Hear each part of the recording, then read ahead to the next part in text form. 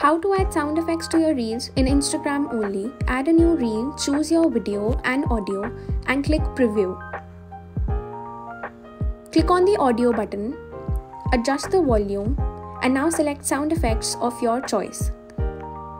Follow for more such tips.